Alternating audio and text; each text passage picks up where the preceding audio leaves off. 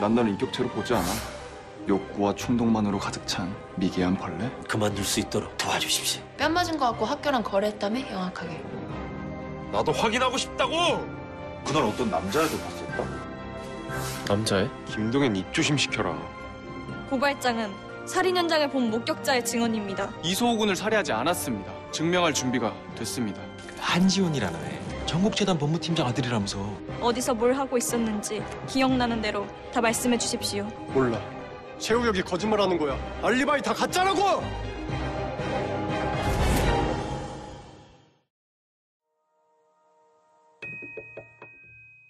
JTBC